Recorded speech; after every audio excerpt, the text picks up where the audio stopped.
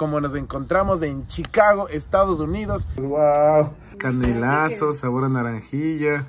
Te vamos a invitar un almuerzo ecuatoriano. Mi reinita.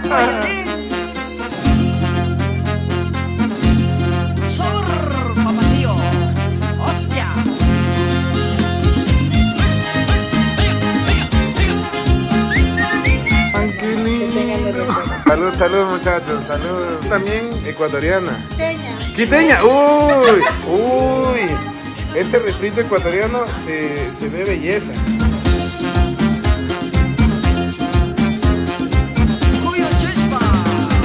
Mi mamá me daba esto de almuerzo y a los años, años, años no como.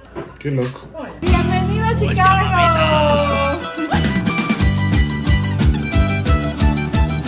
Queridos y llamados champions, en mi vida he viajado prácticamente por muchas partes del mundo, con el único objetivo de buscar gastronomía, buscar personas y buscar embajadores que realmente salieron de su país como para dedicarse a otra cosa completamente diferente, pero que sean 100% ecuatorianos. Y a través de todo este tiempo me he encontrado con ecuatorianos bien interesantes. En mi vida, cuando empecé a grabar ecuatorianos por el mundo, prácticamente fue algo que me cambió la vida porque conocía otras realidades, otras costumbres.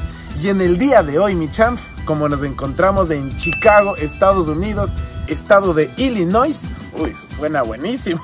Pues sí, aquí también hay ecuatorianos.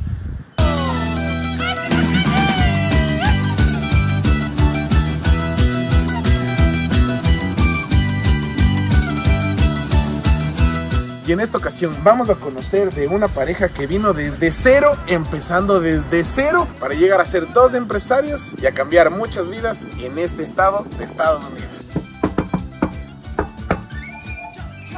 ¡Ey!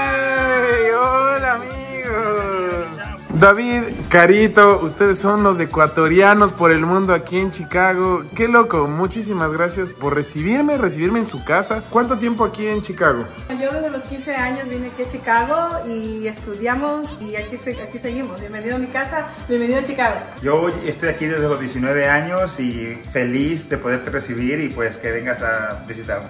Esta es su casa. Sí, esta es la casa, esta es la sala, aquí tengo el comedor, donde siempre pasamos las navidades aquí con toda la familia.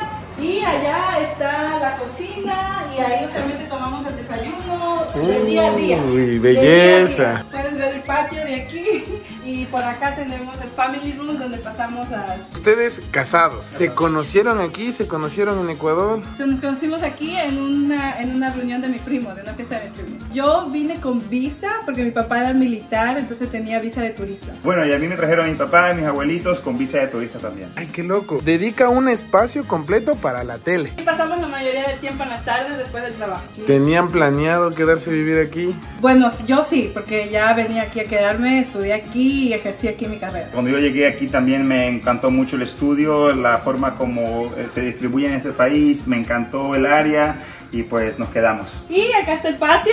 Cancha de boli. Esto sí me parece una locura. O sea, dime que eres ecuatoriano sin decir que eres ecuatoriano. La cancha de boli. El ecuatoriano que se respeta tiene su cancha de boli en la casa. ¿Y cuánto tiempo ya llevan viviendo aquí en esta casa? Bueno, en esta casa son tres años. Ah, tres años recién. ¿Antes dónde vivían? En Chicago. ¿Y ustedes a qué se dedican? Bueno, yo soy un eh, ultrasound tech, un médico sonógrafo aquí en Estados Unidos. Y Ay, guau. yo voy a las diferentes oficinas de los doctores a escanear a los pacientes. Wow. Yo soy agente de bienes y raíces y me dedico a cumplirle el sueño a muchísima gente que quiera ser dueño de casa, que quiera vender o que quiera invertir en este país, especialmente en el estado de Illinois. En Estados Unidos, ¿cuánto cuesta vivir aquí? O sea, ¿es, es- ustedes rentan, es suya?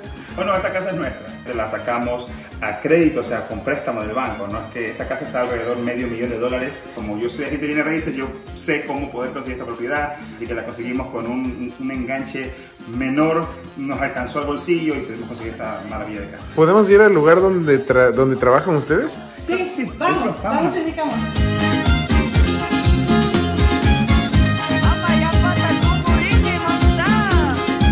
Chicos, ¿y ustedes ecuatorianos de qué parte? Yo soy de Guayaquil. Yo nací en la provincia de Milagro, pero crecí en La Tacuna. Soy masca de corazón. ¡Qué bueno! Y yo soy mono de corazón. Esa es.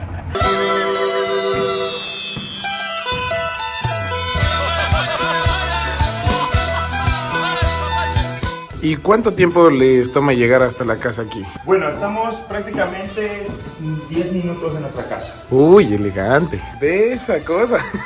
Como que te reciben bien, con cafecito.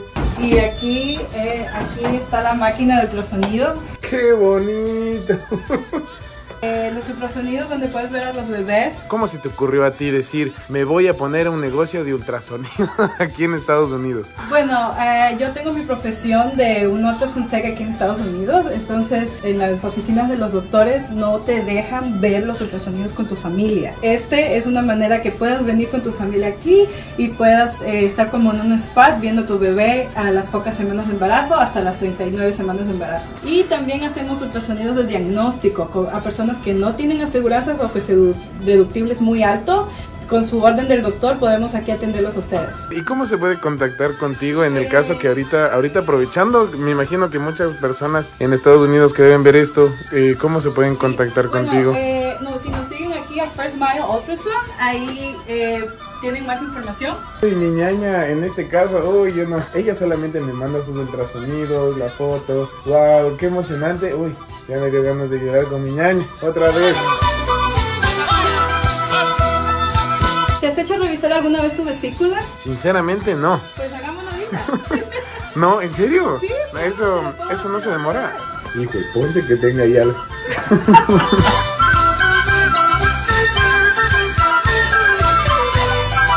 wow. Uy. Toma, toma la respiración. Ay, qué loco. ¿Otra vez? Ay, incluso uno puede ver en la pantalla grande todo lo que está sucediendo. Pero, Carito, ¿tengo algo o no tengo algo en la vesícula? No, no tienes nada. No, allá.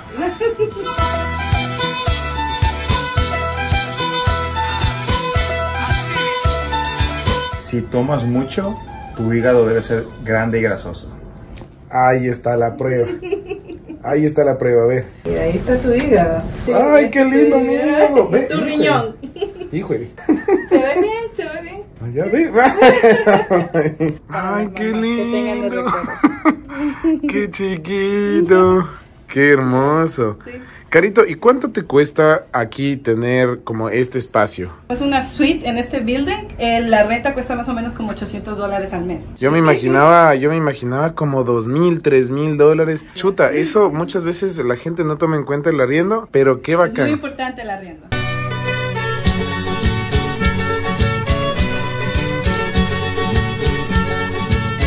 Lo bueno es que ustedes son pareja y obviamente se apoyan. Qué mejor poder trabajar aquí y acá. Y ahorita contigo, David, eh, prácticamente, ¿qué es lo que vamos a ver ahorita? Ven por acá. Esta es una agencia de bienes y raíces aquí en Chicago, en todo Illinois. Mi agencia se llama Real Pros, que significa Oh. Real Estate Professionals. Y pues nos dedicamos a ayudar a, a nuestro público, a nuestra gente, en ayudarles a comprar, vender y educarlos en cómo ser dueño de casa, cómo vender casa y cómo ser inversionista. Siendo yo turista, teniendo la B1, la B2, eh, la visa, pues prácticamente, ¿puedo comprar, no puedo comprar? Claro, hay, hay varias opciones. Mucha gente que viene a este país y no tienen documentos legales, también tienen la oportunidad, como muchos, poder comprar, pero obviamente tienen que seguir un requisito que los bancos piden. Obviamente esa información es más extensa, pero le podemos explicar, pero sí hay solución. ¿Y cómo llegaste tú a tener tu empresa de bienes raíces aquí en Estados Unidos? Que es algo que yo pensaba que solamente se dedicaban los norteamericanos. Bueno, para serte sincero, no ha sido fácil. Es un trabajo fuerte, es un trabajo arduo, es bastante estudio, bastante dedicación. Cualquiera puede hacer si trabaja duro, si se esfuerza, si le pone mucho amor y pasión al trabajo. Eh, ¿Estos son ustedes dos?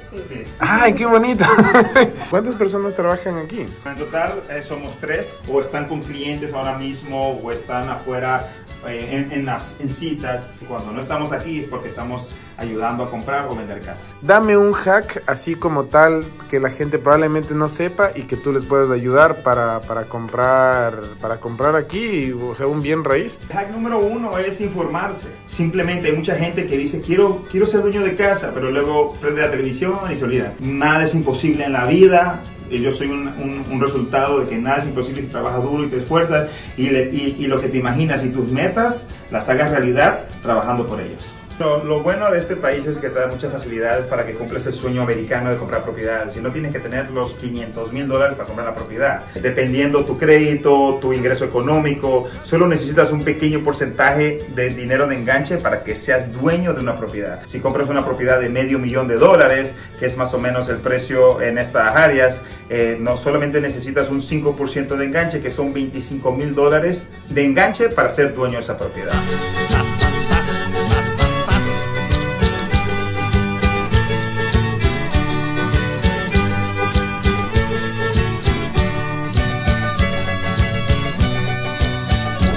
Ecuatoriano. Hola. Ecuatoriana. Quiteña. Quiteña. Uy, hincha del Quito, me imagino. Chuta, ñaño de la liga. Besa, no. ¿Y con quién vives aquí? Con mi esposo y con mi, con mi hija perruna. Ella se llama Eva. Cariñosa se ve. Uy, pero huele, huele riquísimo. ¿Qué están haciendo?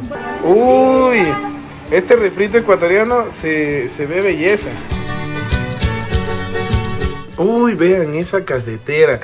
Me imagino con Raimi Café, creo. Yo no vi en su casa Raimi Café, muchachos. No te diste Qué cuenta. mala. no, no te diste cuenta nada más. No te diste cuenta de la cafetera cosa. Ala nyuka kaluni llama wasita, warmi llama ganga. Aquí, está, aquí están las fotos.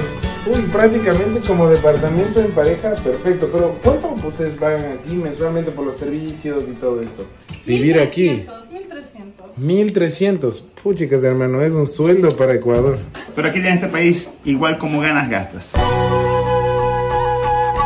Cualquier ecuatoriano solamente saca las botellas cuando viene diferente. Milazo, sabor a naranjilla, licor seco.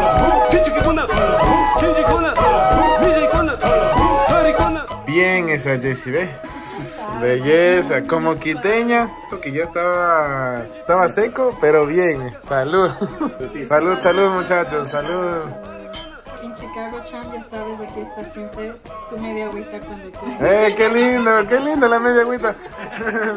y ahora, muchachos, ¿algún consejo para alguien que, por ejemplo, esté en su caso, tenga su trabajo y obviamente quiera arriesgarse a aprender, a, a emprender? ¿qué, ¿Qué le dirían? Nada es fácil en la vida.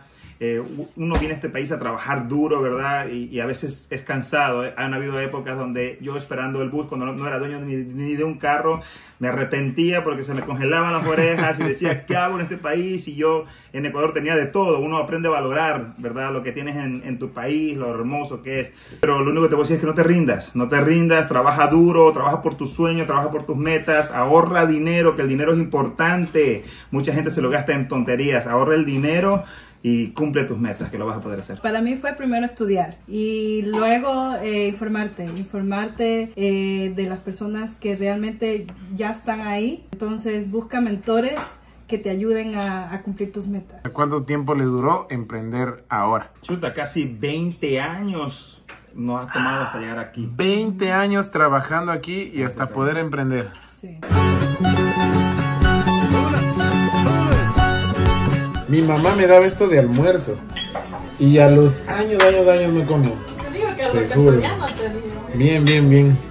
Qué loco. Bueno, Carito, David, que chuta, les siga bendiciendo la vida. Aquí queda un trayecto muy interesante. Espero que muchos ecuatorianos se inspiren de ustedes, que sí se puede. Y pues yo tenía un obsequio para ustedes que es mi Raimita. Esto es un regalo para todos los ecuatorianos que están ahí luchándole y rompiéndola. Y más bien, gracias, gracias. Nos vemos a una próxima, que ya quedamos ahí pendientes para el Inti Raimi en Chicago. Nos vemos. Y por cierto, como siempre, en una siguiente travesía, no se olviden que nosotros nacimos para cambiar el mundo. Chispa